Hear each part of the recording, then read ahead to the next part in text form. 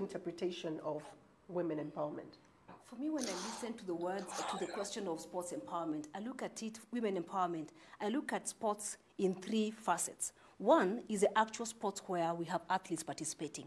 And in that one, I look at sports empowerment being the increase of opportunities for women to participate in sports, increase the opportunities for them to, to competitively and enjoy the game of sports and also to be able to be in leadership as far as sports participation is concerned.